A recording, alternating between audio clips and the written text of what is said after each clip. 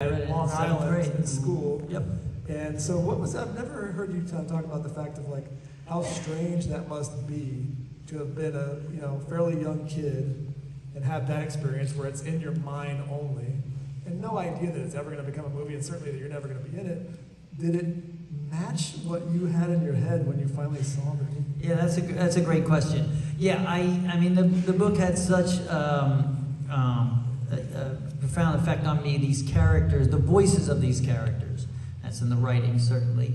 Um, the voices of these characters were were just right in front. It was almost like reading the book was like watching the movie. The description of the look of the characters and how they carry themselves and, and the dialogue be, between them. That's that defines great writing. So, so I didn't know that at that time. I just knew it was a good book. And and when I read Johnny's description, you know, I remember kind of looking in the mirror in my room and just saying, and it kind of, kind of looks a little like me. You know, the big eyes. And I, you know, I wasn't the most athletic guy on the, on the block, and you know, I had the hunched shoulders and the bad postures, and I was like.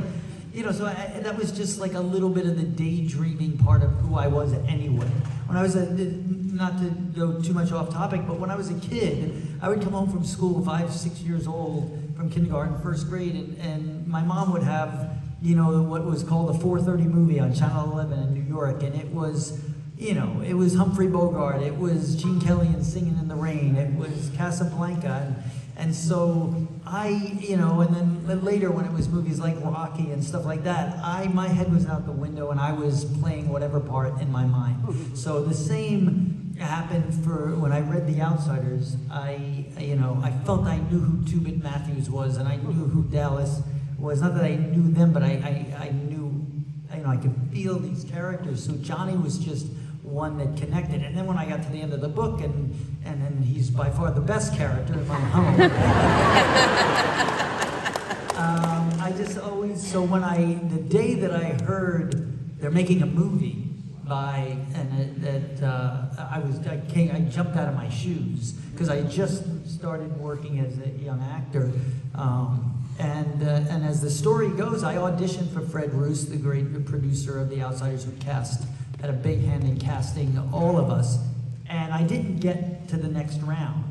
And the movie was not going to be directed by Francis Coppola at that time. Right. Um, um, it was just something that I Zoetrope bought. Zoetrope bought, and they were going to have another a female director, I believe. Yeah. Um, was it Martha Coolidge? I'm, I'm just no, maybe not. I, I don't- I don't But they had a, and so then the movie didn't get made at that point, and I didn't get the part. And so I went into acting classes right away. I lived in Los Angeles at the time because I, I took a hit. Like I didn't get the part that I that I wanted, and I I, I went to and studied acting at, at that point a little bit further. Um, and one of the scenes I did was uh, was Johnny in the hospital, you know. Um, and that was one of my scene study scenes. So then when the movie came back around with Francis Ford Coppola at the helm, then it was like, okay, it's game time. You know what I mean? And, um, and somehow I wound up uh, getting the part I always wanted. So I, there's, there's a uh, good I have to tell you about the first time I saw Ralph in a table read because I didn't know anything about him. Uh, well, I didn't know anything about most of them except because we'd already done a movie together. But um, we had this table read, and all I knew about Ralph was, you know, he'd been in this TV show called Eight Is Enough, and I knew this part was really big. And I was like, oh God, can this kid do it? We had that table read, and I go, oh, thank God, yes. I even went up to Ralph and I slapped him in the back and I said, kid, you gave me a good night's sleep tonight. Susie, do you remember?